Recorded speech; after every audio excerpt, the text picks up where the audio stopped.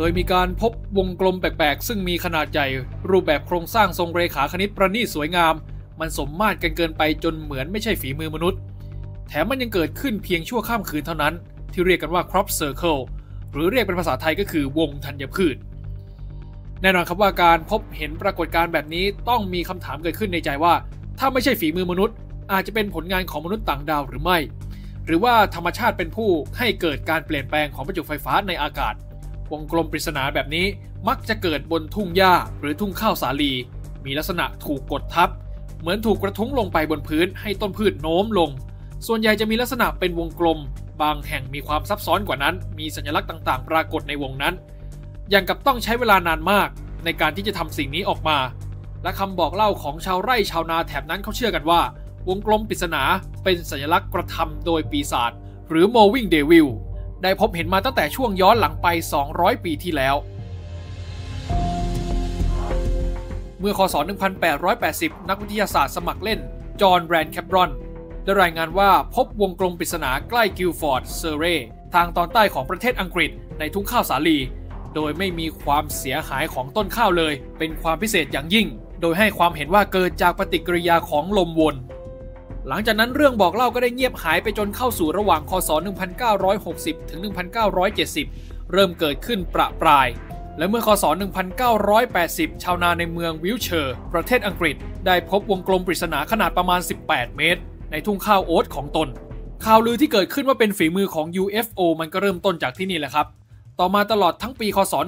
1990 ก็มีวงกลมปริศนาเกิดขึ้นอย่างไล่เลี่ยกันถึง 500 แห่งของทวีปยุโรปภายในไม่กี่ปีหลังจากนั้น มีนับเป็นพันแห่งทำให้นักท่องเที่ยวหลั่งไหลเข้ามาชมแหล่งต่างๆ จนเกิดเป็นธุรกิจการจัดการท่องเที่ยวอย่างสนุกสนาน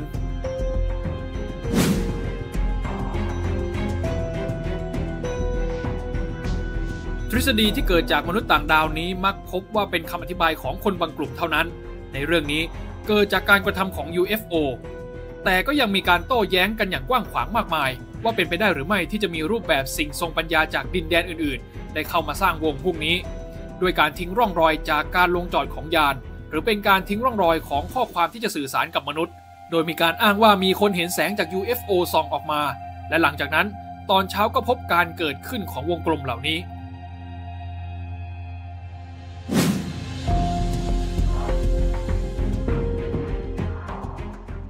นื้อหาจากข้อสรุปทางด้านวิทยาศาสตร์ก็มีมาก ที่แสดงเหตุผลของการเกิดขึ้นของวงกลมปริศนาจากลมหมุนขนาดเล็ก หรืออาจเรียกว่า vortices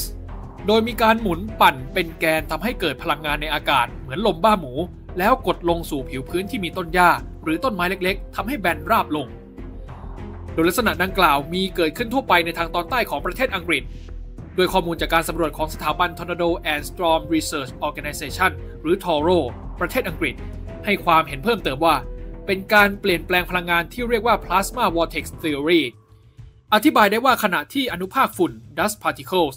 จับตัวกันหมุนปั่นเกิดการเปลี่ยนแปลงของอากาศ มีความสามารถที่จะทำให้เกิดแสงเรืองๆได้ อย่างที่หลายคนเคยเห็นแสงลอยอยู่ตามท้องทุ่งเป็นก้อนๆจนอาจตีความว่าเป็นยานของมนุษย์ต่างดาวกำลังมาสร้างวงกลมปริศนาเหล่านี้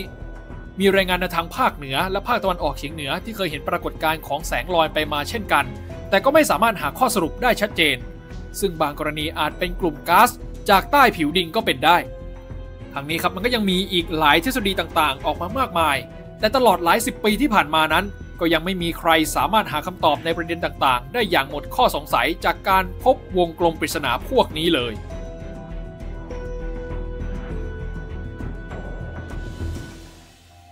มาร่วมสนับสนุนท็อปนิวส์นำเสนอความจริงได้แล้ววันนี้ เพียงกดปุ่ม Super Thanks แล้วเลือกจำนวนเงินตามที่ต้องการได้เลยครับ ขอบคุณครับ